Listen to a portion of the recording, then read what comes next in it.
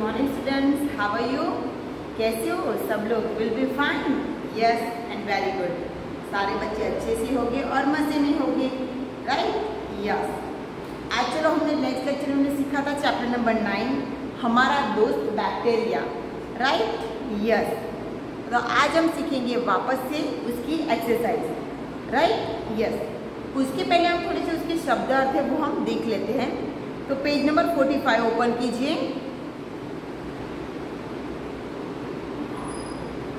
Yes तो पहले शब्दार्थ देखिए बैक्टीरिया तो जीवाणु, फ़र्क, अंतर श्रृंखला जंजीर, दूषित, अशुद्ध, स्वादिष्ट, जायकेदार,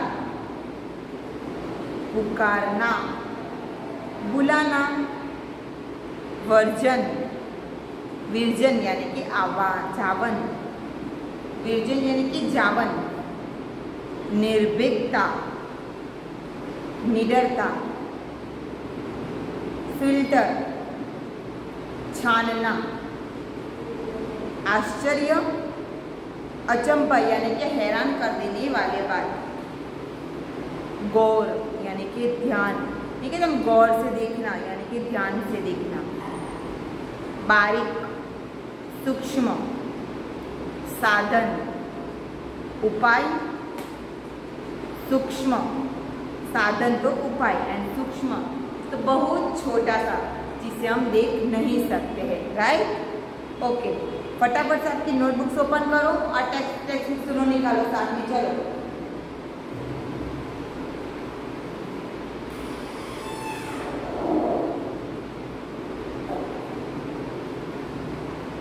ओके सब लोगों ने निकाली ओके आज आपने मेरे साथ ही आपको लिखना है ठीक है ओके अभी को आपने प्रश्न नंबर एक देखो शुद्ध उच्चारण कीजिए यानी कि शब्दों को अच्छे से उच्चारण करना है तो पहला है स्वादिष्ट जीवाणु सूक्ष्मदर्शी बैक्टीरिया श्रृंखला आश्चर्य यानी कि आश्चर्यजनक टाइफॉइड टाइफाइड यानी कि टाइफॉइड भी हम बोलते हैं उसको yes and filter right yes तो सारे बच्चे फटाफट से लिख लीजिए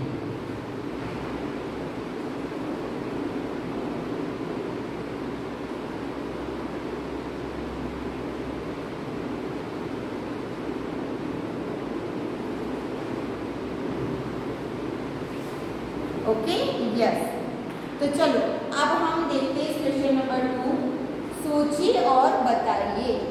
उसमें पहला वाला क्वेश्चन है, क्या आपसे भी कोई ऐसी बात करता है? सोचिए और बताइए। क्या आपसे कभी किसी बैक्टीरिया ने ऐसे बात की है? हाँ या ना? नहीं। हमें कभी भी ऐसे बैक्टीरिया ने बात नहीं की है। तो हम उसका आंसर लिखेंगे। नहीं।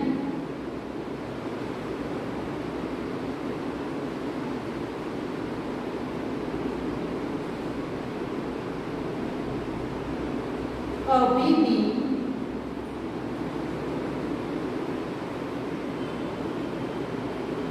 ऐसे बात नहीं की है यस नहीं कभी भी ऐसे बात नहीं की है यानी कि किसी ने भी हमसे ऐसे बात नहीं की है फिर दूसरा क्वेश्चन है क्या बैक्टीरिया सच में हमारा दोस्त है हाँ हाँ सच में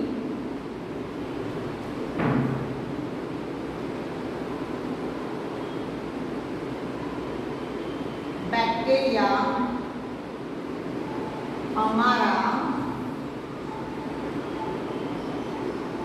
दोस्त है राइट हाँ बैक्टीरिया बैक्टीरिया सच में हमारा दोस्त है क्योंकि कुछ बैक्टीरिया हमें नुकसान करता है और कुछ बैक्टीरिया ऐसे होते हैं जो हमें फ़ायदे भी देते हैं राइट कुछ बैक्टीरिया ऐसे होते हैं जो हमारे शरीर के लिए बेनिफिट होते हैं और कुछ बैक्टीरिया ऐसे होते हैं जो हमारे लिए इफ़ेक्ट करते हैं, जो हमें बीमार करने में मदद करते जाते हैं। यानी कि हमें ज़्यादा से ज़्यादा बीमार कर देते हैं। तीसरा है, दही बड़ा क्या होता है? और कैसे लगता है?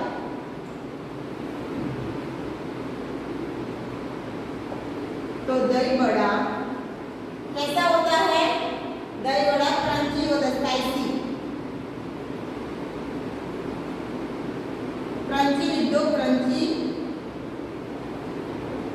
होता है। और कैसा होता है? तो स्वादिष्ट होता है, कैसा होता है? कैसा? स्वादिष्ट होता है हम इसे खट्टा मीठा में जैसे दही बड़ा खट्टा मीठा होता है राइट यस दही बड़ा क्रंची होता है क्रंची क्रंची स्पाइसी कुरकुरे जिसके से होते क्रंची वैसा फटाफट से लिख दो फिर हम क्वेश्चन नंबर वन एक्सरसाइज का स्टार्ट करते हैं चलो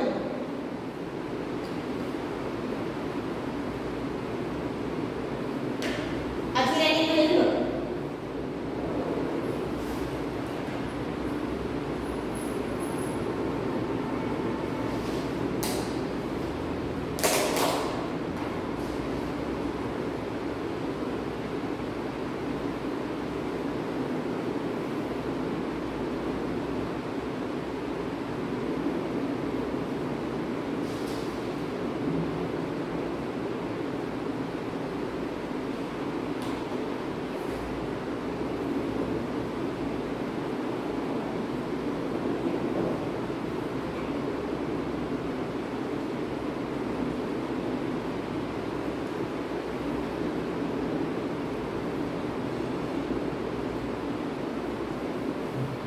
ओके चलो क्वेश्चन नंबर थ्री देखिए एक्सरसाइज में। क्वेश्चन नंबर वन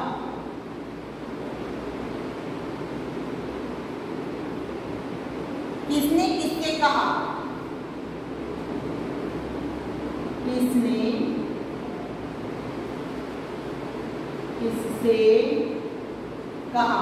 राइट सही उत्तर में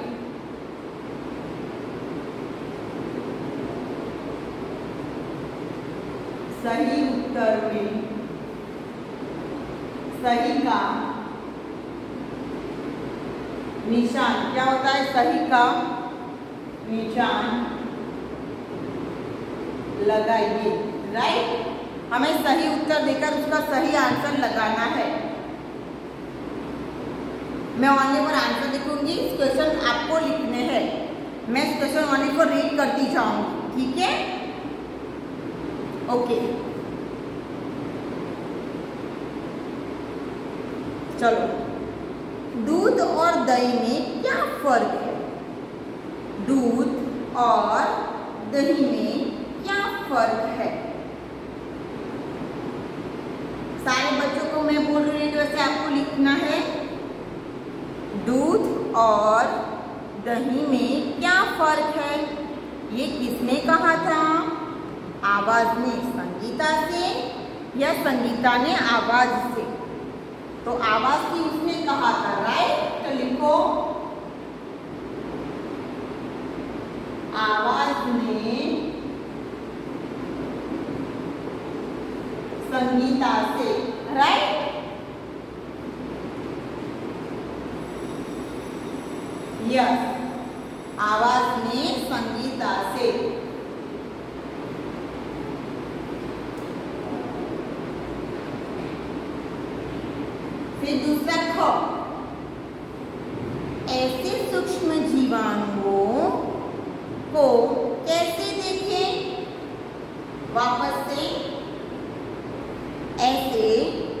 सूक्ष्म जीवाणुओं को कैसे देखें? तो ये किसने कहा था? संगीता ने आवाज़ से, या आवाज़ ने संगीता से। तो उसका आंसर लिखिए। संगीता ने आवाज़ से। संगीता ने आवाज़ से।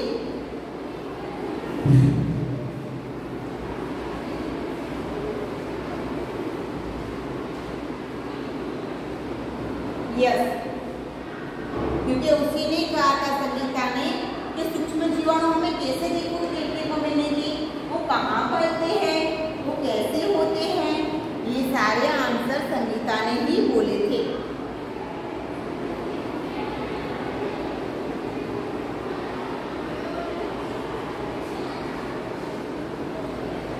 फिर थर्ड वाला बैक्टीरिया तो एक आश्चर्यजनक जीव है बैक्टीरिया तो एक आश्चर्यजनक जीव है। वापस इस क्वेश्चन रीड करती हूँ। बैक्टीरिया तो एक आश्चर्यजनक जीव है। संगीता ने आवाज़ से या बैक्टीरिया ने संगीता से। तो ये संगीता ने कहा था कि बैक्टीरिया एक आश्चर्यजनक जीव है यू। राइट यस कैसे है? एक आश्चर्यजनक जीव है। तो लिखो।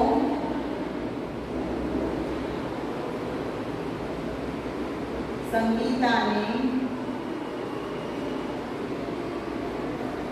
आवाज़ से संगीता ने आवाज़ से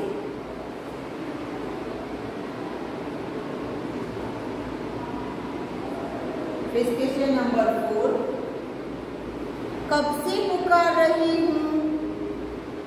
कब से पुकार रही हूँ? पर तुम कैसे सुनती? पर तुम कैसे सुनती? वापस इस क्वेश्चन रीड कर रही हूँ। कब से पुकार रही हूँ, पर तुम कैसे सुनती? तो आवाज़ ने संगीता से या पूजा ने संगीता से? तो उसका आंसर लिखो पूजा ने संगीता से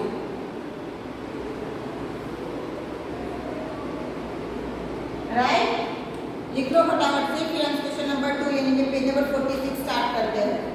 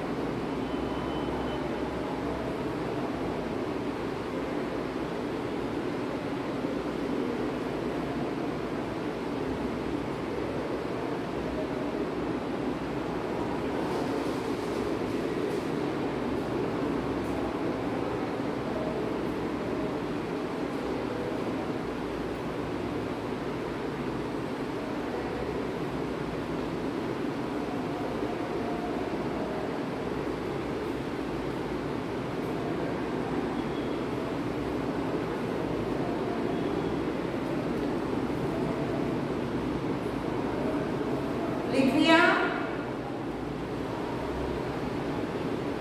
ओके चलो क्वेश्चन नंबर टू लिख देखो।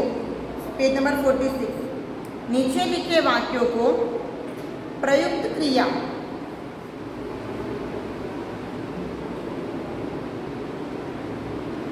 नीचे लिखे वाक्यों को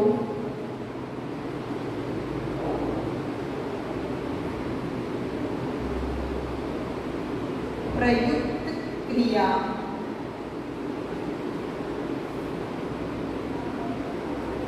शब्दों से शब्दों को रेखांकित कीजिए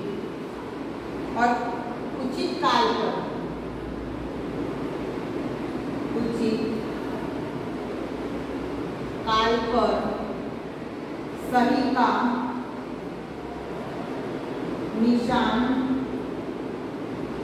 लगाइए राइट क्या कहते हैं कि जो सेंटेंस है उसको आपको नीचे लिखे गए वाक्यों में प्रयुक्त क्रिया के शब्दों को रेखांकित कीजिए और सही वाक्य में आपको लिखने हैं।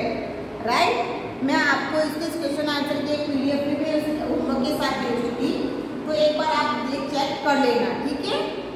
ओके डन तो चलो अब देखते हैं।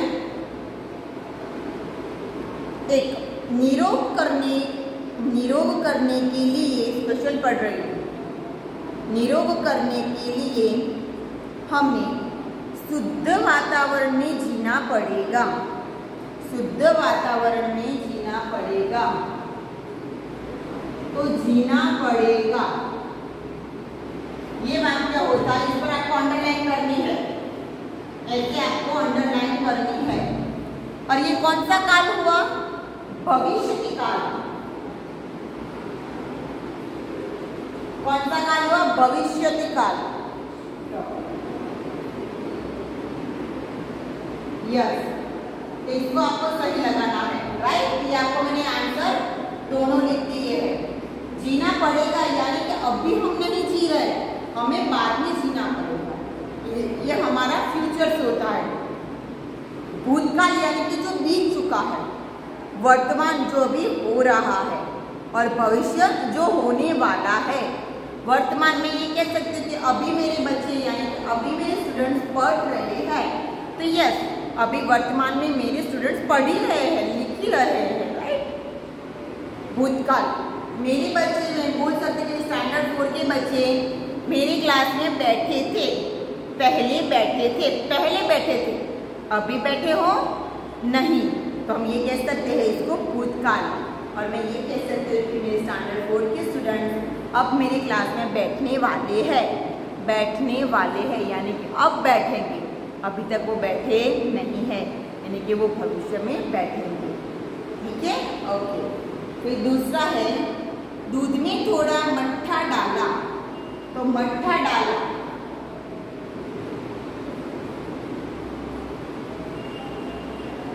मट्ठा डाला। उस पर अंडरलाइन कर दीजिए। ऐसे। तो ये कौन सा काल हुआ भूतकाल डाला यानी कि हम वो कार्य कर चुके हैं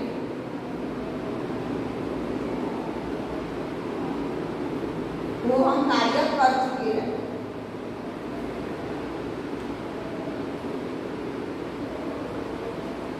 फिर तीसरा है, रेशमा को टाइफॉइड हो गया है, हो गया है, यानी कि हो गया है, अभी उसको टाइफॉइड में ही है फ्यूचर में हो गया है।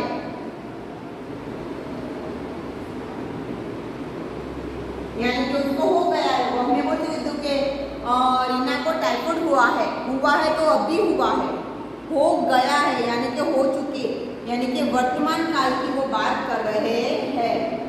अभी